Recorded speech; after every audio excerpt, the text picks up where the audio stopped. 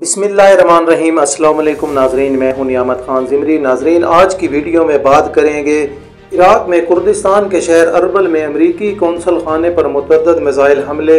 इसमें जानी नुकसान कितना हुआ और ये बम धमाके, ये मिज़ाइल कहाँ से किए गए? नाजरीन, इस पर आज हम तफसील से बात करेंगे। इराकी खबर रसा एजेंसी के मुताबिक इराक में कुर्दिस्तान के दारल हुकूमत अरबल में अमरीकी कौंसल खाने पर मुतद राकेट फायर किए गए। धमाकों की तस्वीर सोशल मीडिया पर भी पोस्ट की गई। इराकी सिक्योरिटी फोर्सेज फोर्सेज ने खबर रसा इदारे एसोसिएटेड प्रेस को बताया कि अरबल में अमरीकी कौंसल खाने पर अमरीका के महकमा खारजा के तर्जमान ने भी हमले की मजम्मत करते हुए बताया कि इराक में अमरीकी तनसीबात पर हमलों में कोई जानी नुकसान नहीं हुआ।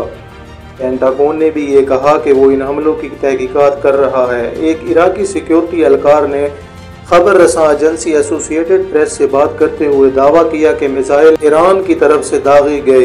एक अमरीकी एहलकार ने एक निजी टीवी चैनल से बात करते हुए दावा किया कि मिसाइल ईरान से आए थे धमाकों पर इब्तदाई रद्द अमल में अरबल के गवर्नर उमीद खोशनाफ ने कहा कि कई राकेट कौंसल खाने के करीब गिरे हैं और ये वाजे नहीं कि निश, निशाना शहर का हवाई अड्डा था या अमरीकी कौंसल खाना इधर इराकी वज़ीर अजम मसरूर बरजानी ने अरबील में होने वाले धमाके की मजम्मत करते हुए कहा कि वो इन बुजदलाना हमलों के सामने डट कर खड़े हैं। अरबल हवाई अड्डे पर अमरीकी फौजी अड्डा भी है। कुर्दिस्तान के वज़ीर सेहत ने कहा कि इन हमलों में कोई जख्मी नहीं हुआ। चंद रोज कबल शाम के दारल हुकूमत दमिश के करीब इसराइल हमले में पासदारान इनकलाब इस्लामी के दो अरकान मारे गए थे और ईरानी हुकूमत ने कहा था कि इसका बदला लिया जाएगा। इस्लामी जमहूरिया ईरान की खबर रसा एजेंसी उर्ना ने भी इराक में शिया मलेशिया के करीबी मीडिया आउटलेट सैरिबेन न्यूज़ का हवाला देते हुए कहा कि दर्जनों धमाकों ने उर्बेल शहर को हला कर रख दिया है और अरबल हवाई अड्डे के करीब चौदह राकेट अमरीकी अड्डों पर गिरे हैं।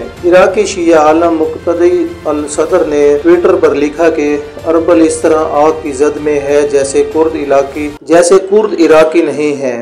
याद रहे कि इससे कबल 2020 में अमेरिका की जानब से फ़िज़ाई हमले में ईरान के सरकर्दा अस्करी कमांडर जनरल कासिम सुलेमानी की हलाकत के बाद ईरान ने जनवरी 2020 में दो अमरीकी फ़िज़ाई अड्डों पर एक दर्जन से जायद बिलास्टिक मिसाइल से हमला किया था। अमरीका की जानब से फ़िज़ाई हमले में ईरान के सरकर्दा अस्करी कमांडर जनरल कासिम सुलेमानी की हलाकत के बाद ईरान ने जनवरी 2020 में दो अमरीकी फ़िज़ाई अड्डों पर एक दर्जन से जायद बिलास्टिक मिसाइलों से हमला किया था। ये मिसाइल कहाँ से आए थे? सोशल मीडिया नेटवर्क्स पर शाया होने वाली तस्वीर में से एक ज़ाहिर करती है कि ये मिसाइल एक ऐसी जगह से फायर किए गए थे जो कुछ माहरीन के मुताबिक जगराफियाई मोहल्ले वकू और तस्वीर में मौजूदा तनसीबात की बुनियाद पर शमाल मगरबी ईरान में तबरेज़ की करीबी जगह है।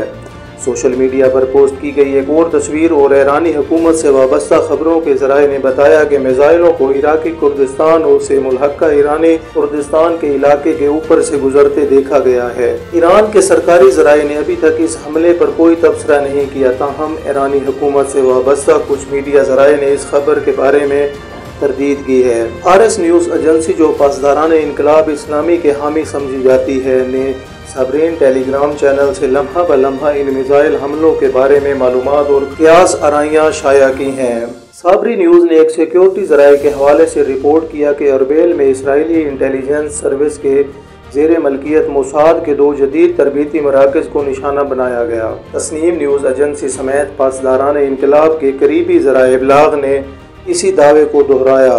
गुजशत चंद घंटों में अरबैल पर हमले के बाद इराकी वज़ीर अजम ने कहा कि ये इराकी अवाम की सलामती पर हमला है। इराक हुकूमत के एक एहलकार के मुताबिक इराकी सिक्योरिटी फोर्सेज हमले की तहकीकात कर रही हैं और वो किसी भी ख़तरे का मुकाबला करेंगी। इस हमले के बाद अमरीकी अवान नुमाइंदान और सैनट के मुतद अरकान ने रिपब्लिकन पार्टी से मुतालबा किया है कि वो अरबैल पर इतवार की सुबह होने वाले हमले के तनाजर में ईरान के साथ जोहरी माहे पर किसी भी किस्म की बातचीत को मअतल करे। नाजरीन, ये थी आज की वीडियो। अगर हमारी ये वीडियो आपको अच्छी लगे तो हमारे चैनल को ज़रूर लाइक करें, सब्सक्राइब करें। अल्लाह निगेबान।